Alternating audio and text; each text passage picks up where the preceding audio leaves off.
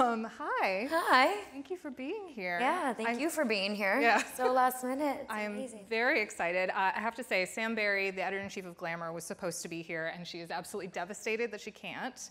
Um, and she was texting me frantically from the tarmac. Um, That's so stressful. God, plane travel can be so stressful. yeah, yeah. She had something really important that she wanted me to share with you and with everybody else here. Um, she was just hanging out with George Clooney yesterday, as you do. As you do. Um, In Boston. I don't, I don't know. I don't know why. um, and, and, you know, this is, I think, let's talk about your path to acting because it's related to this George Clooney quote that I absolutely must get right and I cannot forget. So I'm doing it right now. Um, so she was talking to him about you, and I think they were watching the show last night. Um, and she wanted to know what he thought of you. And he said, quote, before I ever had a daughter, Shailene was my daughter, and I couldn't be prouder to be friends with her. Hmm. I do call him my old man. Do you? what was Yeah. it like, like growing up in that environment? You know, I didn't grow up with movies. I started acting when I was five, so it's always been something I've done, but I weirdly and strangely didn't watch TV or film. I watched Romancing the Stone and Dirty Dancing and Pretty? Woman. No, just in my childhood, like in general. And we listened to country music, and that was it. Like, we didn't really have a very cultural home when it came to art. Um, so we, we kind of just watched the same things over and over again. And so when I worked with George, I knew who he was because I'd seen Oh Brother We're Out There. I was 18. But other than that, I, I didn't really know him as George Clooney, this incredible, famous movie star. I knew him as George Clooney, the prankster, who would rather talk to like the crafty guys on set, not the actors or the producers. And that was the relationship that we initially created, and also then I think catapulted the way that I would handle future movie sets that I was on in more of a leading capacity. So, uh, did you see him as sort of a mentor?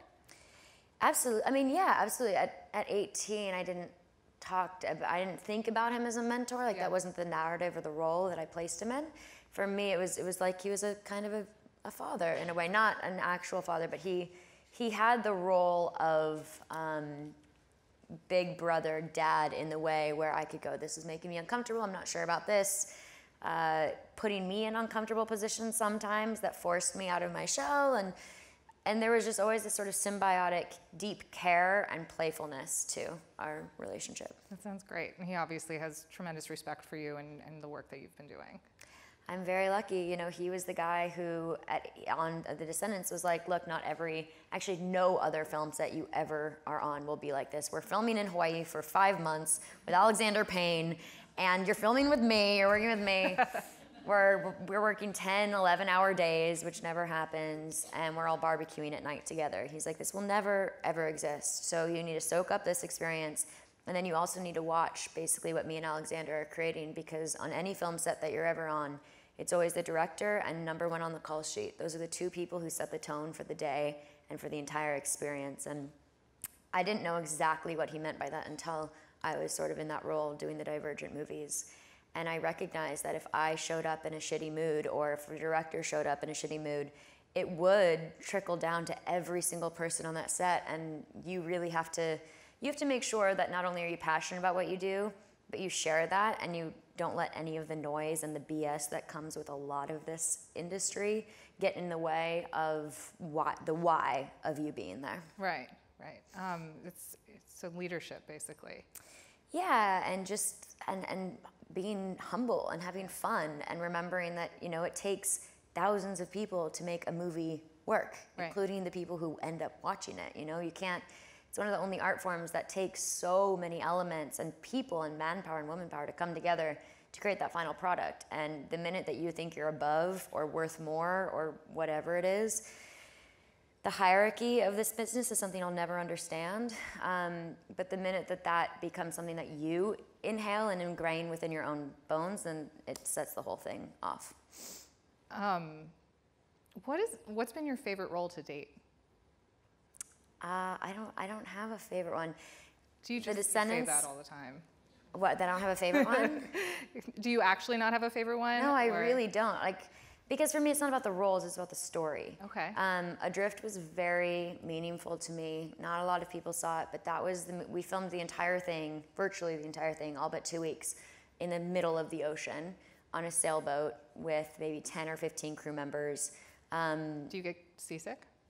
Well, we all did, yeah, for the first couple days until we got our sea. li- We were literally puking, and like it was awful. But they'd be like rolling, and Sam and I would puke off the side of the boat, and then we'd wipe our mouths, and we'd do the scene. They'd say cut, and we'd all puke again. And the sound guy was like, we have no sound in half of the movie because the sound guy was puking the whole time, and hair and makeup, like. It was a disaster. It was a complete disaster. We had a 19-year-old PA, female PA, end up becoming kind of like our first AD who was running the entire set because we were in the middle of the ocean. We couldn't get anyone else out there, and she ended up smashing it. But it was just, it took, it was like an all in thing. And this you was know? your favorite? Yeah. I love the ocean. I love the ocean. So that was really magical. But all of them have their own pieces. Like, I wouldn't say Divergent was my favorite acting experience by any means, um, or creative experience by any means, but it was an amazing learning experience and bonding experience. Like, what we were, it was kind of like being in a frat or a sorority for a short period of time.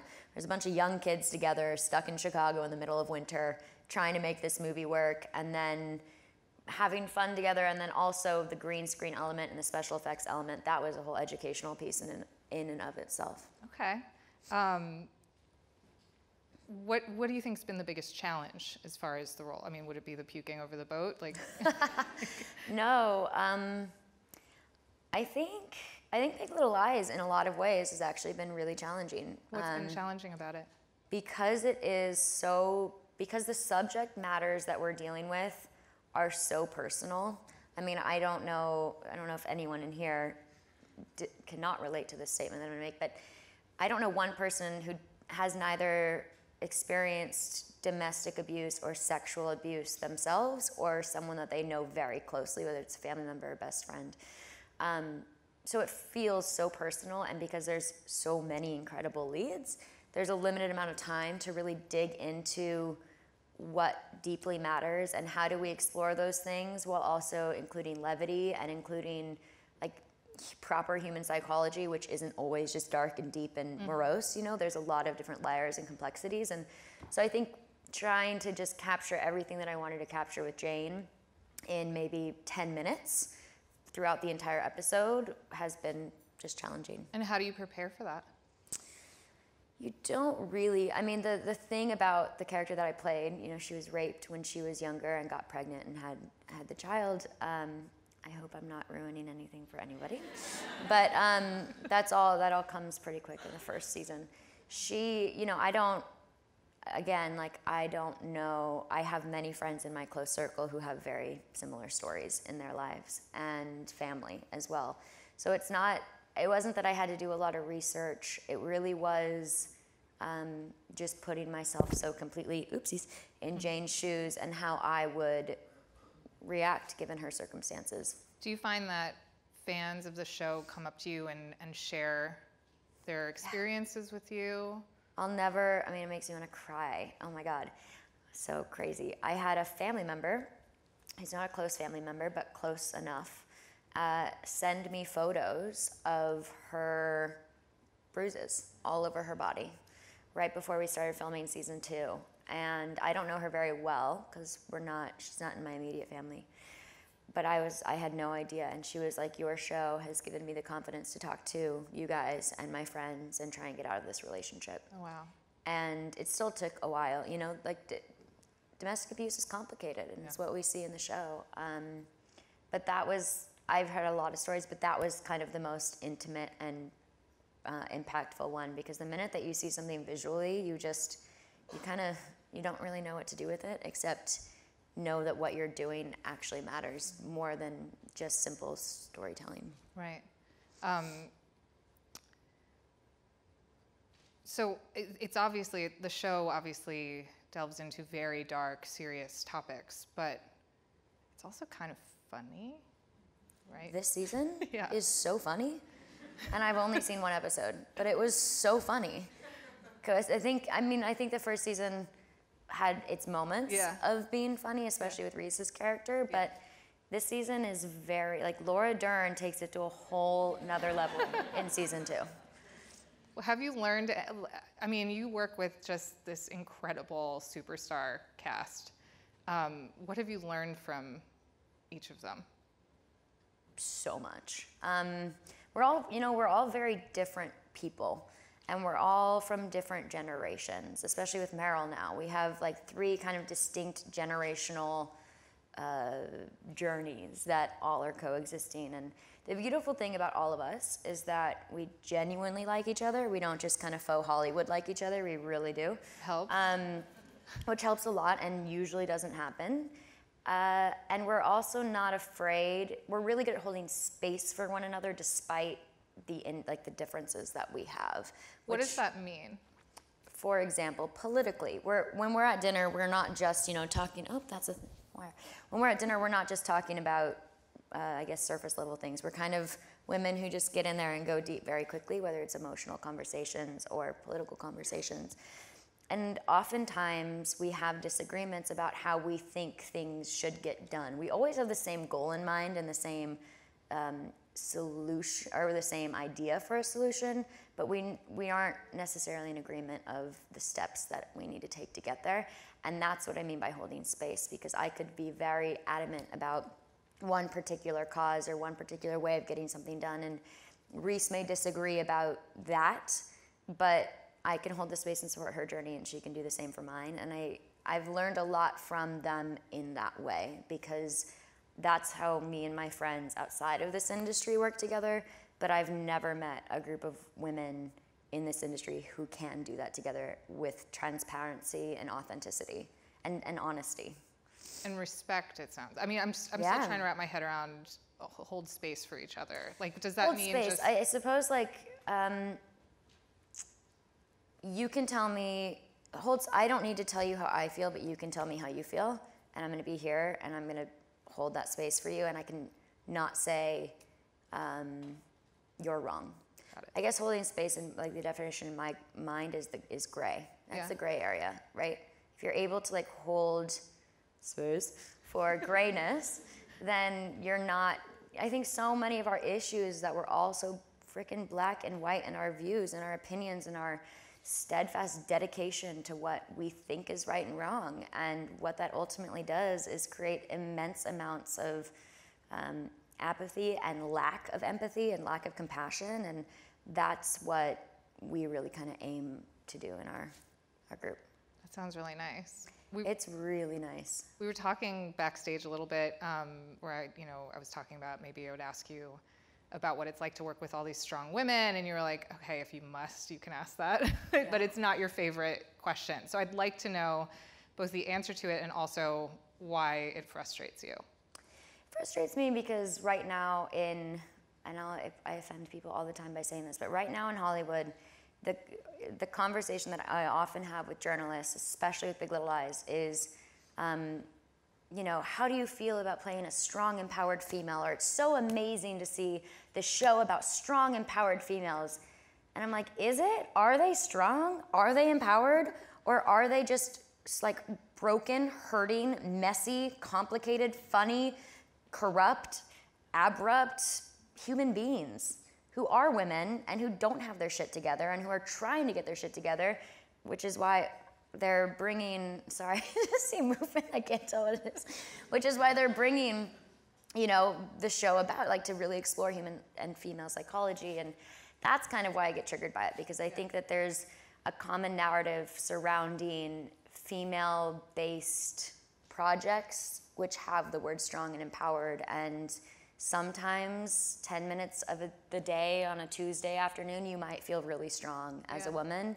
And five minutes later, you might feel really vulnerable and sensitive and weak. And I think it's the same for men, you know, like these sort of catchphrase things that we throw on there to uplift the idea of equality and justice that's not actually addressing like the real situation, which is there's a learning curve and how we can all communicate properly together to achieve the equality that we're really aiming to achieve. Mm-hmm. And that's why that conversation or that question can Bothers trigger me. You. That's interesting. It's funny because we actually we have a, a, rule at Self that you can't call anything empowering unless it is genuinely empowering. Yeah. Um, because it's like it's this word that has become kind of meaningless to some extent. Yeah, and you take away the power from it, which yeah. is it's a powerful word.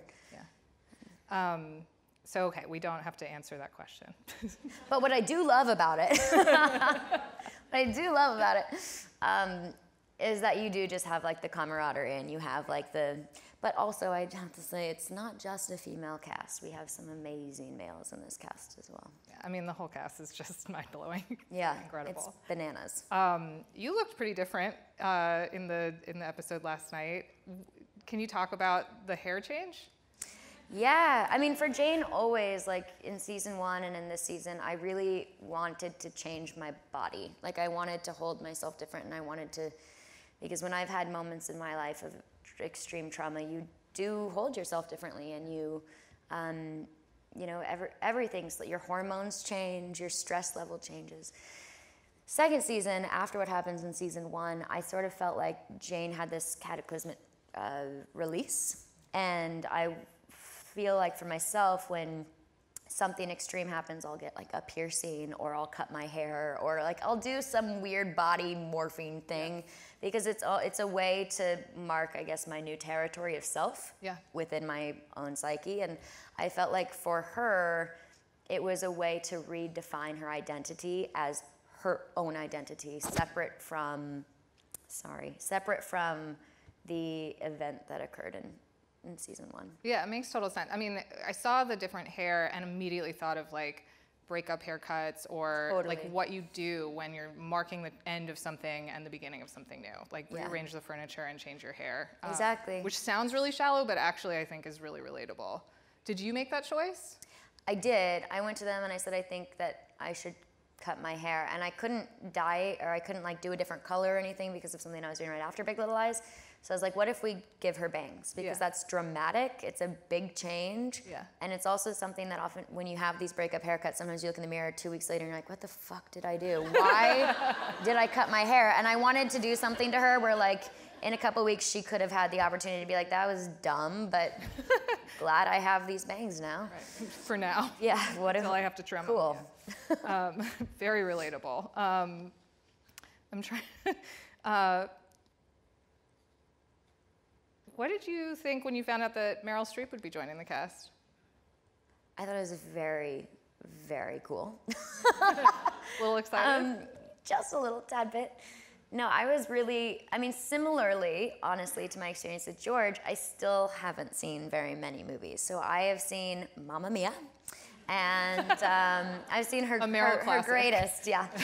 uh, no, I've, I've seen, you know, of course, a few Meryl Streep movies, but I haven't seen all of them by any means. And I'd ran into her a couple times at award shows and just saw the way that she held herself and the way that she effortlessly and gracefully shared her true self with people. Um, so I was just really excited. I was also really excited to learn from her as an actor. You know, I, I come from a background in acting where I haven't been classically trained. I didn't go to school for acting. For me, it's just about truly professionally listening to each and every moment and then authentically reacting. But Meryl, you know, every single role that she does is a performance that still is somehow natural. And that was something that I feel like is a weak point in my, like, that's something I'm not great at. And I was excited to work opposite her to kind of just learn by osmosis and, and really study her, which we got to do. There's a two the towards the end of the season, there's a few episodes where Meryl Nicole have some incredible scenes, and the rest of us just got to sit there and watch for about a week straight them do this thing over and over and over again. And me and Zoe were sort of pinching each other and ourselves, going, "This is like a master class in acting," and like taking notes in between. totally, totally. Um, did you you enjoyed working with her? I assume. Yeah, so much. So much because she really, like, she did teach me. I'm, I'm not the same actor after working with Meryl. Do you have anything specific that you feel like I learned that and I learned that from Meryl Streep?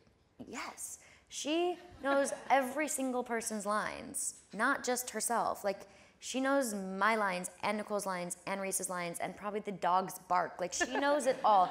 And she also knows it all before you commence production, which I learned my lines the night before for each scene the next day, and then I forget them by the time I get to the next day.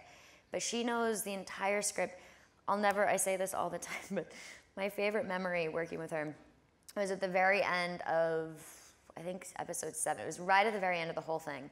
And she comes up, and it's all of us ladies sitting together, and she goes, I wonder what this line on page three has to do with this line on page 50 or whatever it was. And she walked away just like, hmm.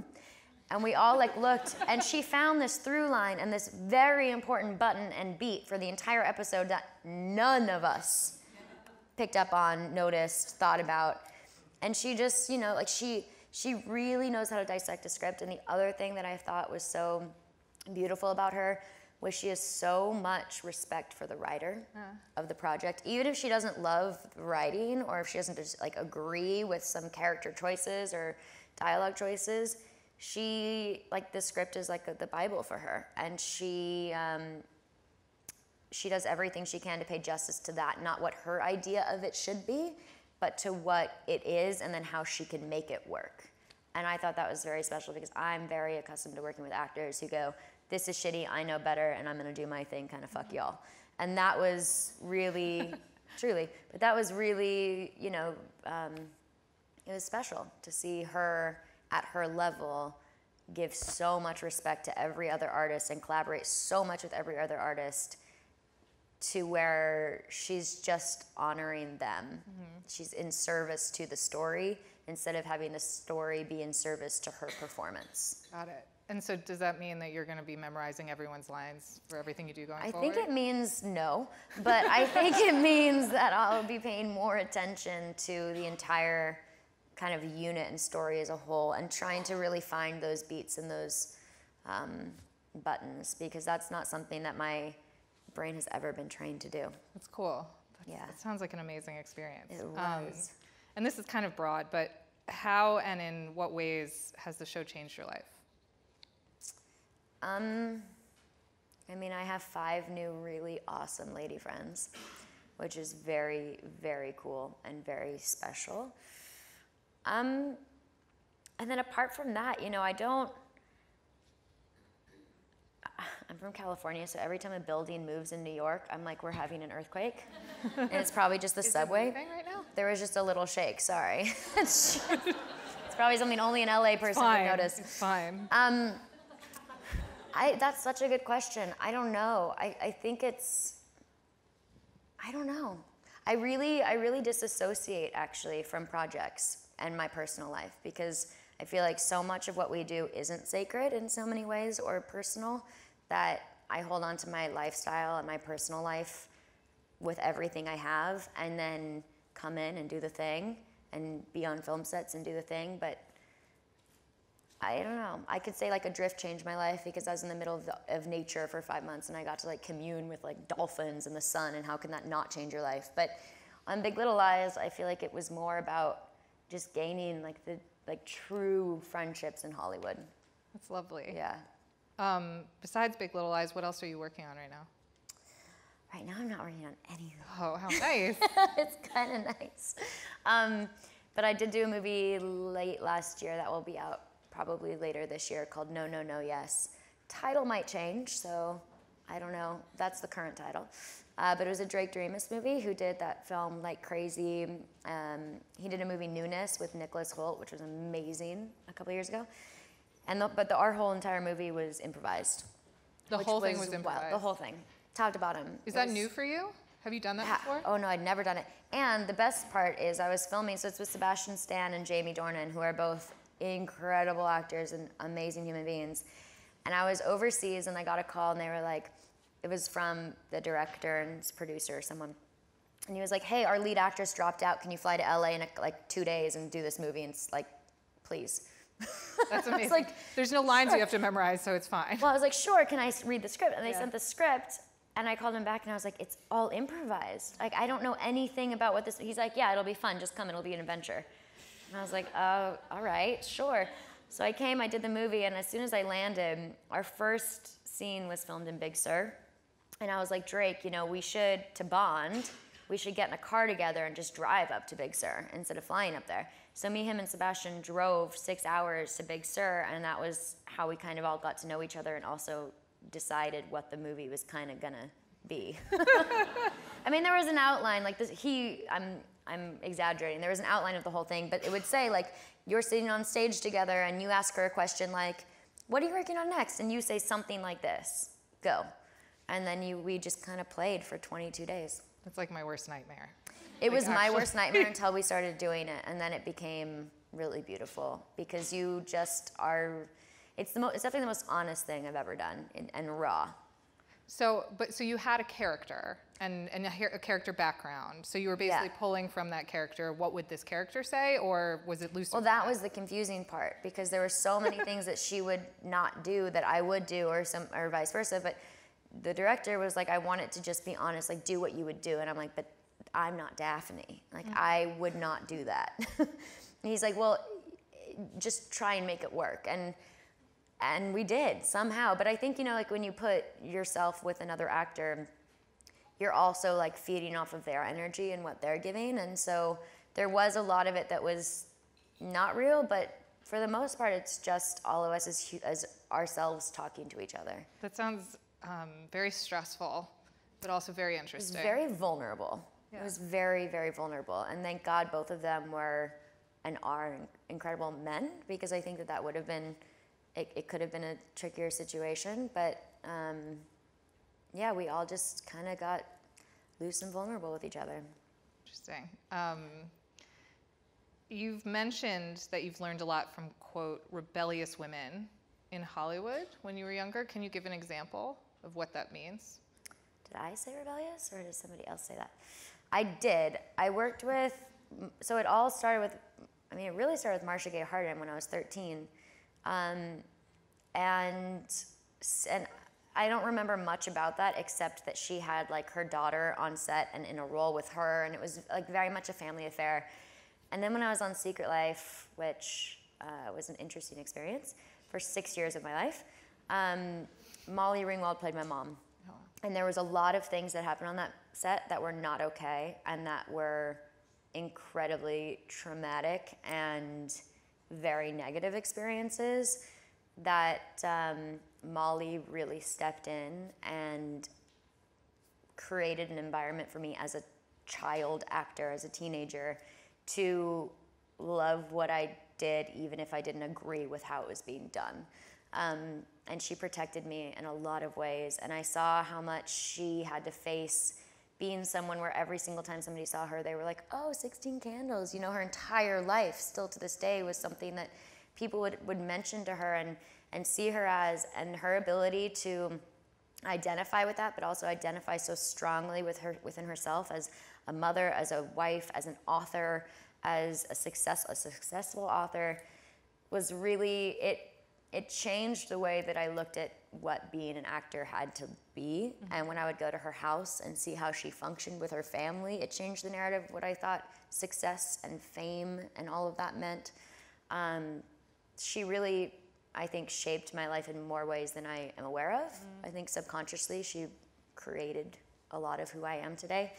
And then it rolled into um, Ashley Judd and Kate Winslet, who are both people who have always been outspoken about their beliefs. And again, whether or not I agree with them on some stances, like they aren't afraid. They aren't afraid of a machine that has told them they needed to be something and told them they should have been something. And if you become a mom, you'll never work again. And if you take a year off, you'll never work again. And if you live in the South, you'll never work again. And they took all of those uh, those those things that agents and producers say to you to incite fear for some dumb reason.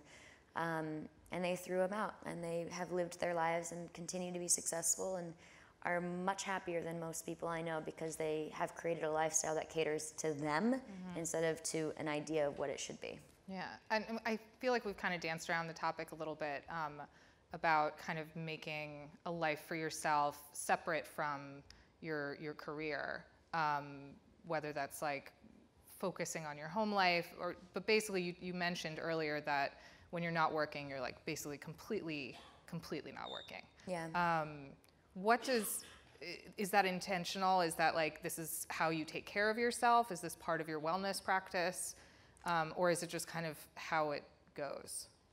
I think I've discovered in therapy that um, so my because I started when I was five, my mom was very much always a part of my act like acting life. When I got my manager, she helped make the decision with me, and it was always a team thing. And in my early twenties, I had to sit her down and be like, I'm cutting you out of the conversation um, because I need my mom as my mom and I need my career to be my career. And it was really hard for her, not because she wanted to manage anything at all, but because she was like, but I've just like, this has been my life too, you know? Like she would work a full day and then drive me to auditions for hours. And it was hard for me because she helped, she was the middleman in a lot of awkward situations. And we had to find that new balance. But what I recognized in the last couple of years, like that distinction that I made then, which I thought I was only making with my family and with work, like saying, when I come home, guys, I don't really want to talk about what it was like to be here. I want to talk about, or be there, I want to talk about like how's your heart? How's the dog? How's the kitchen? You know all the dumb stuff that you talk about as a family. Um, and i didn't realize until years later when my brother was like you kind of shut us out of like what's going on in your career. You don't tell us when things happen. And it was i think like a self-protection mechanism of of needing to not like remember who i am. Like I, not it is that but like really you know, I don't come from money and I don't come from famous people and I don't come from um, people who are, I guess, in the limelight or trying to be in the limelight. I come from like very like normal suburban kind of family. And that is where my true joy lies and that's where I receive the most joy. And so separating the two is important for me because I think it, if I only lived in this, I wouldn't remember my joy. Mm-hmm. And if I only lived in this, then I wouldn't have my career. So needing to kind of create two worlds. And I think as I get older, it'll be easier for me to integrate them together. But it was a, you know, it's a hard journey. I think it's, it can be lonely if you aren't, if you aren't lucky enough to have people around you who are your true friends and family. Yeah. Um, I love that you mentioned your therapist. Um, when did you decide to start talking about that openly? Well, I just so I both my parents are therapists, um, so I grew up with this shit. Um, it was like, oh, they bullied you in school. How do you think they feel at home when they're bullied by their parents? And you're like, mom, can you just like give me a break? Um, so they're both psychologists, but I I went through therapy. My parents got divorced when I was 14, and my brother and I were kind of thrown into therapy to like save the kids and I hated it because I hated my therapist. Like we just really we didn't click. She didn't help me with anything. She made me feel uncomfortable. And throughout the rest of my life, I kind of was like, well, therapy's for some people, but I don't think I need it. And then something happened for me around Christmas this year that was really, um, really, really, really emotionally difficult and has been for a long time. But it was sort of the the catalyst for me going, I need help. I can't do this alone, and I'm going crazy so I I knew of this therapist because he was the husband of one of my doctors, and I ended up working with him. And my, like the first session, I sat down and I felt so uncomfortable and so vulnerable. But he was like, you know, if we're gonna do this, we need to create some sort of trust immediately. It doesn't mean that you have to trust me, but you're gonna that you say you can trust the process. And I said, I can't trust the process, but I'm willing to try. And um, it was amazing. I mean, it is amazing. And openly, like I, I would have talked about it openly years ago had I been doing therapy years ago. You, ha- you have talked a lot about wellness and the importance of wellness to you. Um, I, you've also made jokes about previous things that you've said, and um, how has your how has your relationship with wellness changed over time?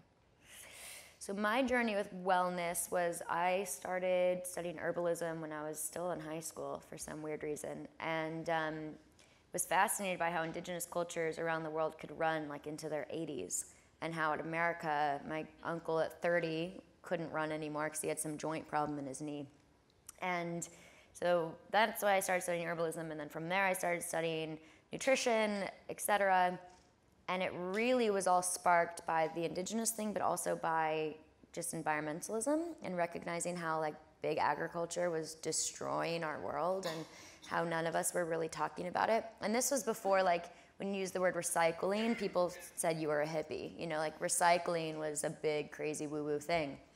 Um, and then I watched being from LA how quickly the conversation and narrative was changing and it went from being, you know, this is sort of taboo to all of a sudden kale juice on every corner and Um, you know, pay attention to this because it's really good for you and eat charcoal because it binds. Blah, blah, blah.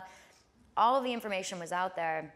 And I was also watching this whole movement take off, including myself take off with it, and how the narrative for me went from something that I was doing because I was like actually wanting to help soil exist in 50 years to being very worried about how long I was going to live.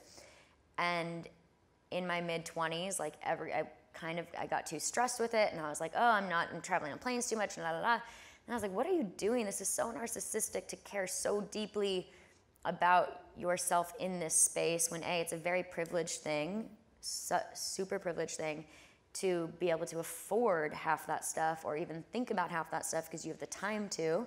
Um, but also, like the whole conversation about wellness for me, if we're talking about like physical, not mental, because that's a whole nother conversation, but should be directed towards what are we doing to preserve and conserve this planet, not what am I doing in order to make sure I look youthful at 50 years old instead of looking like a 50 year old woman who's lived a great ass life.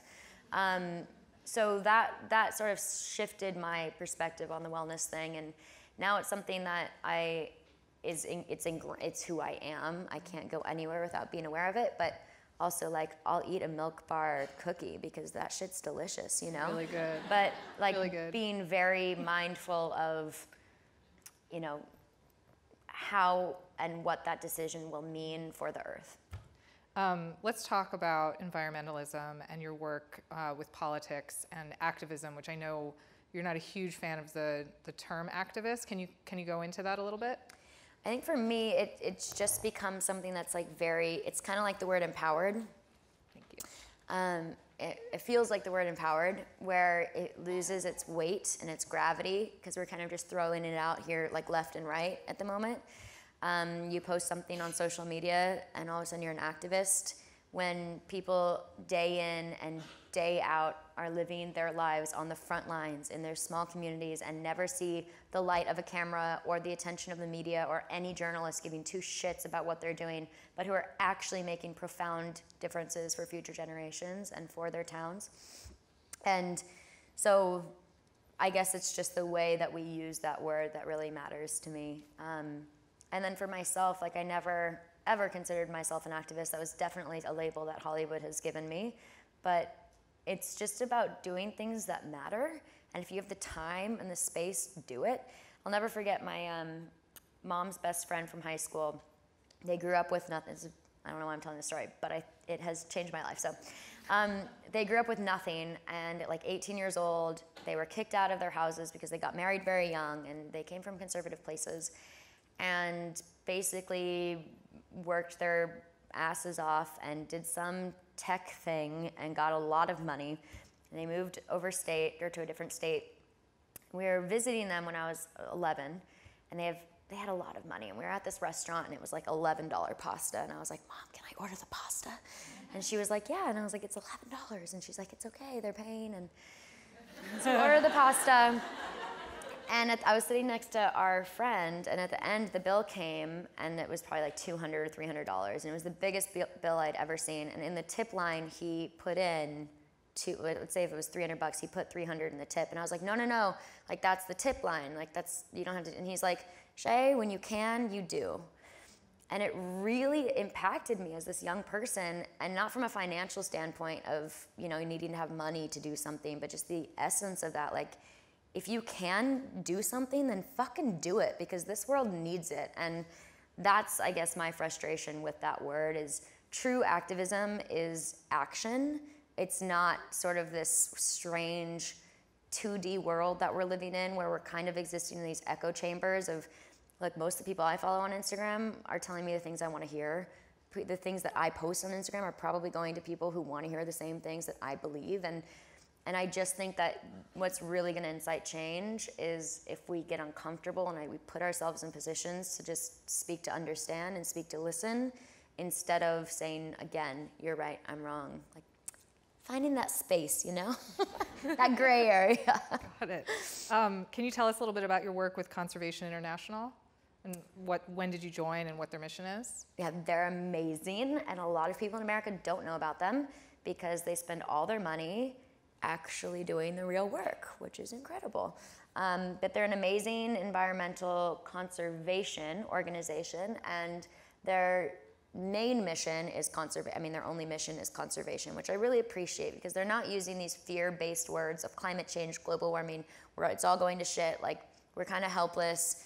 Give us your money so that we can change the world or save the planet or help the planet. It's really about letting nature heal nature in the same way that when you're sick, chances are if you let yourself just sleep for two days, you'll be you'll get better.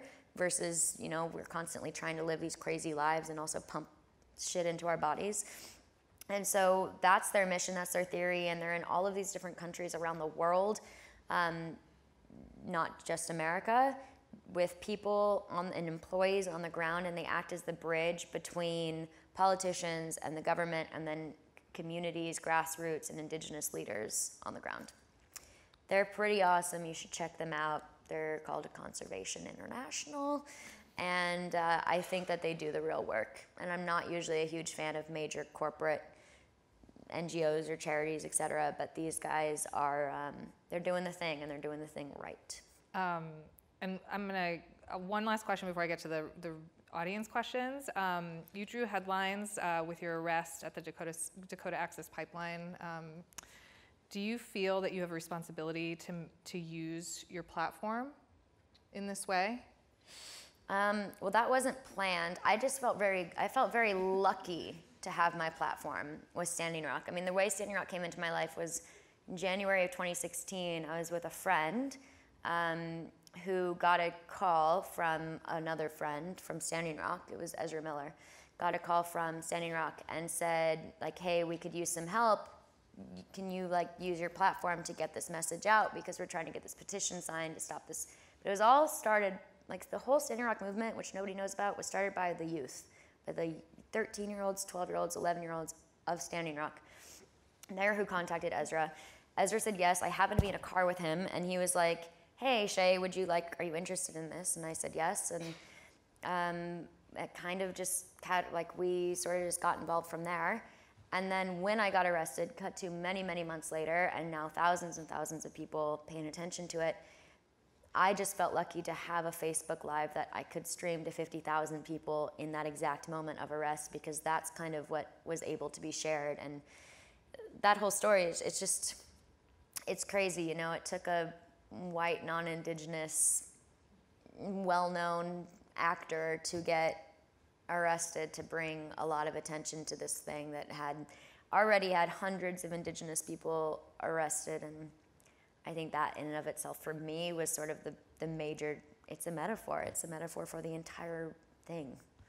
Did that make you feel weird? I mean like absolutely it did you know? 1000% it's but it's it's the way that we have always treated native americans since colonization it's, it's the same thing that's always happened. And what was so beautiful about Standing Rock was that people were coming together, but not just like natives and non natives, but like non native allies were actually learning, I think, for the first time in history, including myself, not only what we suspected was wrong with the history that we grew up with, but what is still wrong with the history that's happening today. You know, it's the same kind of conversation when we come when it comes to like the private prison system, criminal justice, et cetera. It's all it's this narrative of oh it used to be really bad and it's bad today, but you know it's not as bad. And then you go oh yeah no this is this is just as bad. It just has it's just wearing different clothing and it's wearing a different name, but it's it's just as bad what we're all a part of but don't necessarily pay attention to not because we're ignorant but because we haven't been educated about it but the cool thing is, once you know, you can't unknow. And I felt like Standing Rock really, really created that knowing. And now it's just a matter of where you go from from here. Um, I actually lied earlier. Um, these are all about acting and, and, a few other things. So I'm going to ask one more political question. Um, I, I'm, you're very passionate about so many things. If you had to choose, what are the three most important topics that you think people should be paying attention to in, in the lead up to next year's election? Um, mental health, but like within ourselves. I honestly think I think the the three most important things that we should be paying attention to are are you registered and are your neighbors registered first and first, first and foremost? And do you have a car to get there? If you don't have a car do you have transportation? If you don't have transportation is there someone you can ask? If there's no one you can ask can you go online? I think that's the biggest thing because just getting people to the polls is vital and then the second thing is paying attention to like how your life like what actually brings you what is that show on Netflix that everybody watches where she's like, if it doesn't bring you joy, don't do the thing? Yeah, I'm not trying to sound like her right now. but if like if something in your life doesn't bring you joy, you know, like pay attention to what that thing is and then what is the what is the part of the system that is fueling that. And then pay attention to the policies surrounding that instead of you know, obviously, like the main ones that we all pay attention to, like healthcare, all of these things are incredibly important, obviously. But I do think that there's a lot of power in our hands that we have not recognized because we don't know to ask our politicians about certain things because it just hasn't been something that has been brought up in mass media. But, you know, when I, I went to a lot of states for Bernie Sanders in 2016, and then once he lost, was working to help get Hillary elected. And I learned so much when I was on the ground talking to people who were, I was like, why, why would you vote for Bernie, or why would you vote for Hillary, or why would you vote for Trump? And they'd be like, oh, because you know, like uh, they're gonna they're gonna help me get another job. And you're like, really? But how is that gonna happen? And is getting another job actually going to help your life, or is like there's i think we just have this misconception of what will bring us true joy and then holding our politicians accountable to that. And so i would say you know just discover in your life what's the most meaningful. And despite whatever narratives mass media is trying to throw at us because that's all just noise and distraction.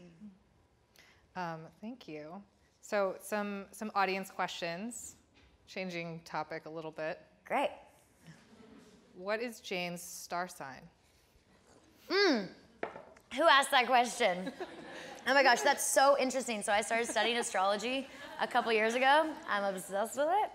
Um, and so now every ever since I started studying it, I every time I have a character, I create a whole chart for them. Like the whole thing. And it really helps me understand their psychology because I'm like, oh, that's why she's so shy. and what's something interesting from Jane's? I mean, for me, like I, mm, I think Jane is like a Taurus. Like I really see her being like her sun sign is a Taurus, but then having like some Sag in there somewhere because I think like she can be really funny. And I think that she's got some like Aquarius in there as well because I think the way that she sees the world and its possibilities is a little bit different. But the biggest thing for her that was interesting in building a chart is that she, because of the trauma that she had and the trauma that she holds, like she still has, um, it changes the way that those things are fired off. I love it so much. It's such a woo woo thing. Sometimes people think it is, but I think it's actually really cool. I love that you um, thought about this at length. yeah, I mean, no, but truly, like, so I had my I had my chart read when I was in a major moment of depression, major, and I was like, y'all, like, you witch lady are gonna not teach me anything. Like, I don't know what this is gonna be, and she, just like, she knew me better than anyone, and it really freaked me out but it also like to me astrology just gives you permission to be yourself without judgment and that's what i've been able to help i guess build my characters do what you got to do that great sounds question. great and thank you for the question um, is there one character living or dead who you would like to play yep cool. and it's kind of exciting for many reasons that i'm not going to say right now but it would be Anais Nin. okay why? Not even necessarily that I would want to play, but um, she's someone I'd like to be. Uh, because she uh, she's an amazing French author um, from the 40s, but spanning all the way through the late 70s, early 80s, I believe. Um, to me, she like embodies feminism in the way that like I define feminism. And before it was a thing really for a woman to decide who she wanted sexually and who she wanted emotionally. She was doing it. Um, she was playing with her identity as far as who she was attracted to and who she wanted to be with and she basically she taught me at a, at a young age when i first read her book henry and june which if you haven't read it is so beautiful um, what sensuality meant and and basically changed my sexual uh, direction as far as what I wanted for my body and for my mind for the rest of my life. What was So- this book? It's called Henry and June. I'm sure I remember that. You just see a woman discovering who she is sexually and psychologically.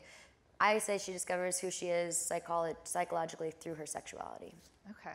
It's amazing. If you haven't read it, oh my gosh, you got it. I have not read it. I'll have to add it to Yeah. my list. Um, I've been reading a lot lately because I've been trying really hard to stay off of Twitter. Oh, that's Like, so healthy. I hear actually, yeah, I mean, um, with some success, I hear that you actually got rid of your smartphone. Hi, so I still have my smart- smartphone. I went to Cuba, and a few years ago I didn't have a phone, and it was the best thing ever because there's Wi-Fi everywhere. So if you have a computer, you can talk to any. Because now you can text from your computer. It's so crazy. Um, but I didn't have a phone, and I noticed once I got it back for the last few years, like my thumb will start doing this shaky thing sometimes. I'm like, that's not normal, and that must just be from like, like, scrolling and thumb? typing. Well, I, I'm a single thumb typer. I don't type with two hands. Wow. So I think this thumb is the nerve is just like, fuck you. like you're go you're like you're using me too much.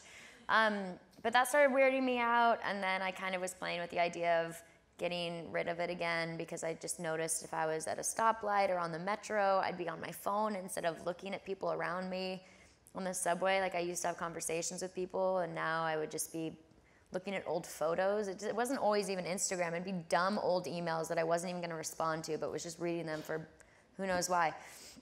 Um, but then I went to Cuba, and my phone just stopped working.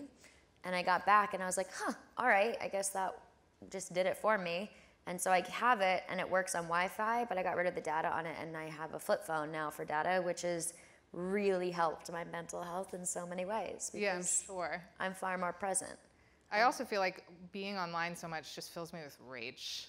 Yeah. Right? Like, and also insecurity. Like I'm, I'm a very sensitive human being, um, and I get insecure very easily. I'm sure like all of us do. And so the minute, I mean, I just feel like Instagram can be amazing in a lot of ways because it can kind of like m- help make movements move and introduce new hashtag things.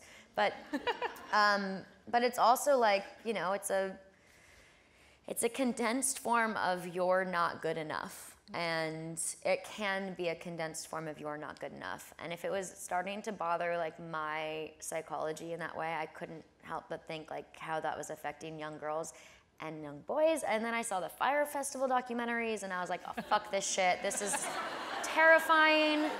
Like, you know, just like the whole thing of like, it's just the it just it just weirds me out man it's weird and i'm as much a part of it as much as i like don't like it i also have it and use it and so it's just this weird thing so the flip phone has helped create distance good for you. Yeah. Very impressive.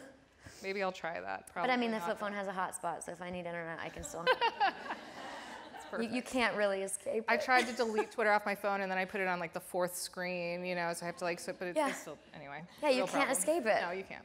it's like trying to hide the cookies you still know where the cookies are It's true.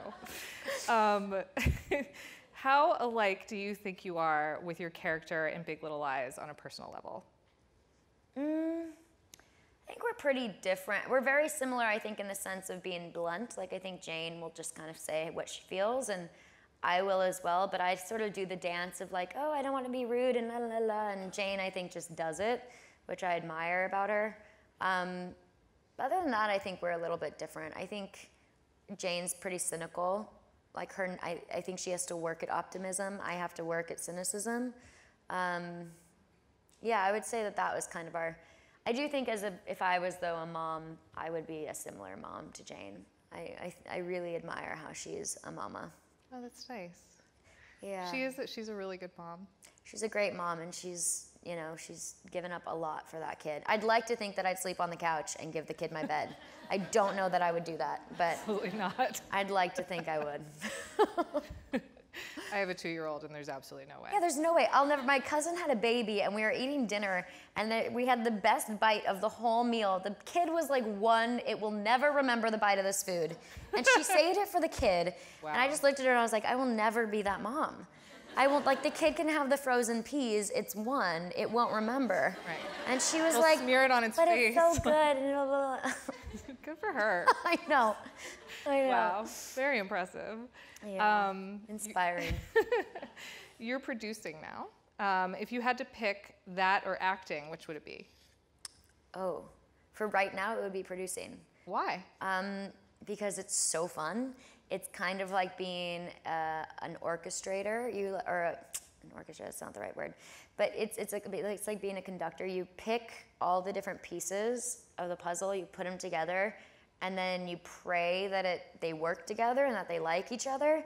And then if they do, you let it go and you let it do its thing, and then kind of keep it on course if it goes over budget or whatever. But what I love so much about producing is the creative elements involved, and I think sometimes as, as an actor, I'm trying to now only work on projects where this doesn't happen, but it's still inevitable. Like as an actor, the creativity can get a little bit lost because of certain other elements, and um, or li- not lost, just limited. I guess there's like it can feel limiting, and as a producer, I feel like there the creative creativity is limitless. Like the amount of magic is just completely infinite. Um, and I'm really, I'm like I'm a I'm a business person, so the business side of it really gets me going. I mean, love it's it. like being in charge versus being told what to do to some degree. Yeah, but also being like uh, in charge, not as an artist, but as like a business person. So, uh, as an actor, you can go to the director and you go, "Let's collaborate." As the producer, you could go, "What do you think about this?" And if they say no, you kind of got to go, "But what do you think about this?" They say no, you go, "Okay, I trust you. You're the director." You know, like, and I kind of love that. I love. I just love artists and I love mad people and you know putting them and just creating that that I use the word space a lot. You've really made I'm me realize sorry, that. I'm No, it's sorry. fine. It's making me laugh. But like creating the space for all of that to exist is kind of it's fun. Um, okay, and I've saved the best question for. I don't. It's not the best, but it's. They're all. They're all great. They're all equally good. Congratulations. Um, but it's um, maybe the most controversial. Um, out of the entire cast of Big Little Lies, who are you most excited to work with? On something else? No, no, on Big Little Lies. I assume Oh. on Big Little Lies Um, before it it all started. Ooh, that is so hard. I mean, Zoe, I wasn't excited to be honest because we'd worked together on three other projects already. Um, I was excited to work with her as a friend, um, but I, j- I just I knew what our uh, our dynamic was going to be. Um, Laura, I had already worked with, so I was excited, but again, I kind of knew what that was going to be. It was really Reese and Nicole. Um, I was excited to work with both of them for very different reasons.